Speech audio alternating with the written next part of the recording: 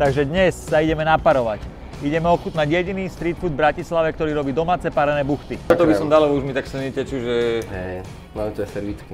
keď sem dojde nejaký typek chlap, ktorý má 100 kg, veľký je, nemá krk, Naje sa z toho, že dá si jednu buchtu? Alebo dá si 15 miesto obedu? Uh, vieš mali sme tu najmä, že, že chalan si dal 5 buchiet a odchádzal spokojný. Sem do, do, dojdu Američania, tak super radi, že tu je mak, lebo v Amerike zákaz. Ja milujem, ak to na tebe vidia ešte večer, keď sa smeje.